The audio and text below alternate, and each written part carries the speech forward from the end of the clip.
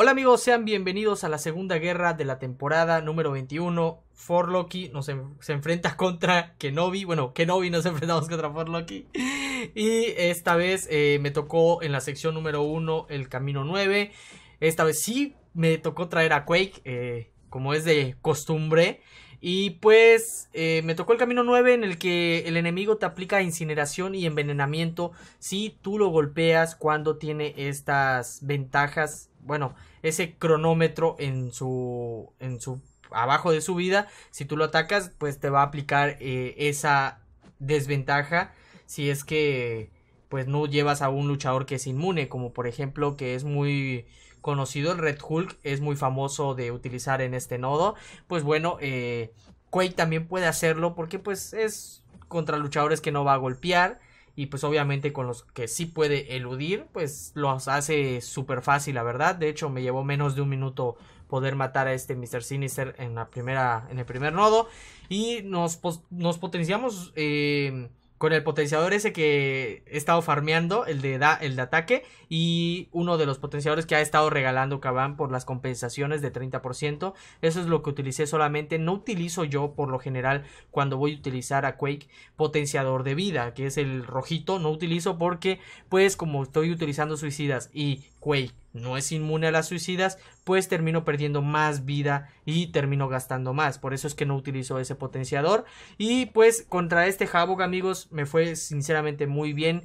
Eh, como la vida en estos luchadores de la primera sección suele ser muy baja, a pesar eh, de ser nodos con más, con más tiempo y más vida de lo normal, pues es un Havok rango 5 y no hubo ni siquiera necesidad de cargar su segundo poder y volver a repetir todo el proceso. No hubo necesidad. Eh, cuestión de unos cuantos segundos se murió ese Havok. Y ahora sí, amigos, me potencié para este Warlock y cambié maestrías. Me quité las maestrías de curación. De hecho, eso se recortó. Ya no, se, ya no lo vieron. Pero me quité las maestrías de curación para que eh, no me drenara el poder cuando hiciera poderes el Warlock. Aún así, como yo tenía la infección activa en el momento que él utilizó poder, pues no logré conseguir lo que es una barra completa de poder. Ustedes lo van a poder ver a continuación. Pero básicamente esta pelea así era. Vieron, gané el poder y lo perdí automáticamente porque tenía el virus activo y tenía la desventaja de envenenamiento. Ni modo, estaba yo perdiendo vida constantemente. Es algo necesario en este nodo Pude haber utilizado a Quake, pero tendría que haberme quitado las maestrías suicidas y las maestrías de curación. Me iba a salir un poco más caro. Entonces decidí utilizar a Corvus para eh, ganar esa misión aparte y que el Nick Fury se me complicara. Porque sí, nuevamente me, volvieron a poner Nick Fury y Killmonger en los nodos eh, de la guerra anterior.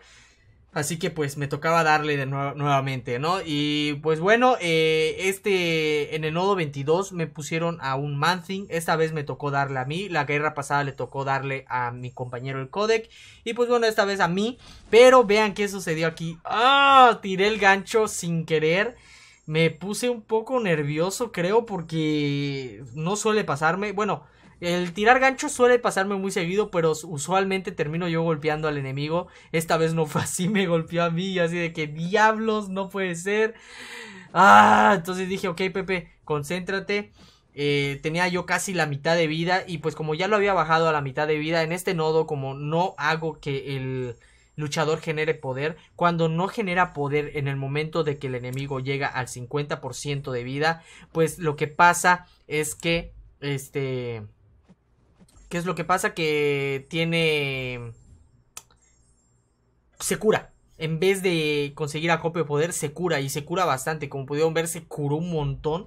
Y pues dije, bueno, ya ni modo. Eh, eh, me traté de concentrar lo máximo posible porque dije de este error tengo que salir y qué vergüenza sería morir contra este man en este nodo. Dije no no no no puedo morir.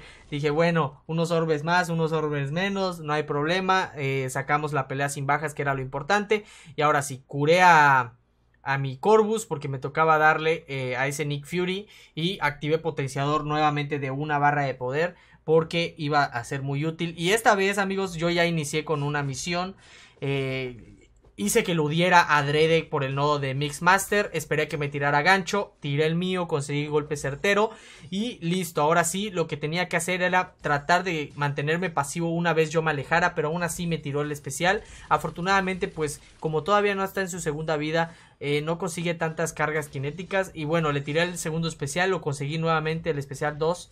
Y pues ahora sí me terminó golpeando porque ya tenía su imbloqueable. Recuerden que Nick Fury gana el imbloqueable cuando llega a 15 cargas eh, cinéticas, cinéticas de su habilidad.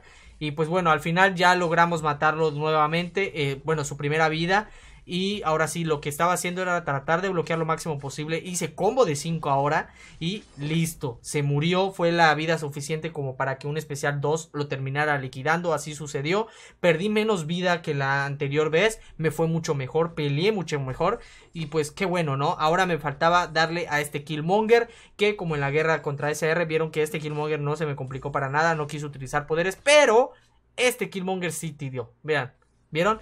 Por más que estaba yo tratando de ser pasivo para que no me tirara poder y se corriera hacia mí, eh, decidió tirar poderes, pero no pasa nada. Lo único que hice es esperar a que se eh, terminara el tiempo del eludir el imparable, corrieras a mí, le hice parada, le tiré el especial 2 y listo. De hecho, vieron que no me curé en la, en la pelea porque me quedaban pocos objetos. Como yo usualmente yo utilizo eh, objetos de orbes de 6k de vida, esos que venden gratis en la, en la tienda de Gloria eh, bueno, no gratis por gloria, pues eh, usualmente para curar a un rango 3 conlleva mucho gasto y como estaba potenciado no quise hacerlo. Y pues ahora ya para terminar amigos ya eh, al día siguiente ya nos coordinamos todos para movernos. Ah perdón perdón perdón. Esto me moví por la noche sí cierto. Ayer por la noche me moví antes de irme a dormir coordiné con mi compañero Jedi y el rector que eh, eran los del camino 5 y 6 y pues ahora me toca darle a este Mr. Fantástico. Si ven que no estoy utilizando a Quake de la forma de Ultra Instinto, por así decirlo, que ludo todo, es porque Mr. Fantástico es también un luchador que se beneficia por el nodo global de Stuborn, de defensa. Entonces no puedo eludir porque si no va a ganar indestructible. Y ojo, tengo que tener cuidado porque como inicié eh, la pelea con maestrías suicidas, ya activé dos desventajas. Cuando activo yo tres desventajas en mí, eh, automáticamente el enemigo consigue imbloqueable y te imaginas si yo llego a eludir me tendría que golpear a huevo para que yo pueda eh, deshacerme de el indestructible del enemigo por eso es que Mr. Fantástico puede ser un poco complicado en este nodo sin embargo Quake es una muy buena counter para darle por eso es que me mandaron por este camino en el camino 4 de la sección 2 y ahora sí me tocaba darle a ese Silver Surfer estuve un momento debatiendo conmigo mismo dije será que uso a Corvus o uso a Quake dije bueno con Quake estoy súper acostumbrado. Aparte en este nodo puedo hacerle parada. Por lo que no tengo que arriesgarme a eludir su tabla. Porque ya vieron que la tabla de del surfer. Pues es doble golpe. Entonces vieron ahí va a utilizar el doble golpe. Decidí mejor hacerle parry. Se me la llevé más tranquilo así. Dije, ok, vamos a tratar de no cagarla. Porque eh, pues obviamente no quiero morir. Eh, For Loki hizo un push desde desde la noche que antes de irme a dormir ya estaban casi terminando los tres grupos, ¿eh? Pero yo siento que eso no es una muy buena estrategia. Pero pues eso como que nos alivian un poco porque al final eh, ya habían muerto como 11 o 12 veces. Y, y pues sí, entonces dije, eh, dudo mucho que nosotros vayamos a morir tantas veces. Y bueno, ya eh, al final me fue muy bien en esa pelea. Me tocaba darle ahora a la sección 3. Me tocaba darle nada más a este subjefe. La Black Widow Origen Letal. Y amigos, estaba, estaba yendo muy bien esta pelea. Pero muy bien. Eh, nada más tenía yo que tener cuidado con su especial 1 porque es imbloqueable. Pero no me acordaba que hace un doble golpe al principio del primer poder. Estaba yo intentando conseguir mi segundo poder para matarla, pues chingón. Y vean, no eludí el primer especial. Dije que no me mate, que no me mate. Dije, ah, ok, no me mató. Dije, ok, safe. Ahora vamos a pelear safe, Pepe. Porque me drenó los poderes y dije, chi, me quedan cinco agujas. Ahora sí eludí bien el primer especial 1 porque ya vi que era doble golpe. Yo pensé que me tiraba algo. Y por eso es que nada más eludí, eludí eh, de cerca y no eludí de lejos. Entonces eso es lo que se me complicó y me terminó golpeando su primer especial. Entonces ahorita ya nada más estaba haciendo pasivo para que no me tirara su especial nuevamente. Tiré especial 1 apenas lo conseguí y listo. Matamos a la Black Widow sin, sin, sin dar baja. Eh, igual no importaba si moría porque ya estaba prácticamente la guerra ganada. Eh, anteriormente nada más mi compañero el Timo había muerto contra un Iron Man Infinity War en la segunda sección. Eh, y pues al final terminamos 12 a 4 porque ya no morimos ninguna vez más. Mis amigos se bajaron todo lo que faltaba sin morir, sin ningún problema. Y amigos, fue una guerra excelente, nos fue mucho mejor que contra SR. Bueno, morimos solamente una vez más, una, una vez menos.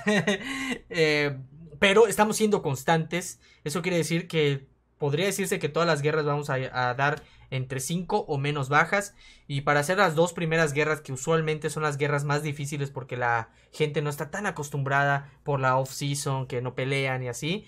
Entonces creo que vamos con muy buen ritmo, vamos muy bien. Vencimos a For Loki, que es una alianza eh, digna eh, de Masters y de top 3 de creo. De hecho, la temporada pasada quedaron en tercer puesto. Así que, eh, pues sí, amigos, vencimos a, la alianza donde hay algunos youtubers famositos. y sí, de hecho, uno de ellos me saludó. Luego en la, en la versión de inglés lo voy a saludar porque tal vez lo vea, tal vez no. Y pues sí, amigos, esto ha sido todo de mi parte. Eh, fueron buenas peleas. Nuevamente quedé en MVP. No les muestro los resultados finales porque estoy grabando el video antes de que termine la guerra. Y pues sí, al final eh, en, la guerra pasada también quedé MVP. Esta vez también. Y ya estamos a 5 MVPs para llegar a los 200. ¿Será que lo conseguimos esta temporada? No se lo pierdan, amigos. Eh, bueno, ya saben, si les gustó, pueden dejar su like, suscribirse si no se han suscrito, por favor, y activar la campanita de YouTube para que les avise cada que yo suba video. Y esto ha sido todo de mi parte, amigos. Nos vemos en el siguiente video. Cuídense mucho. Bye.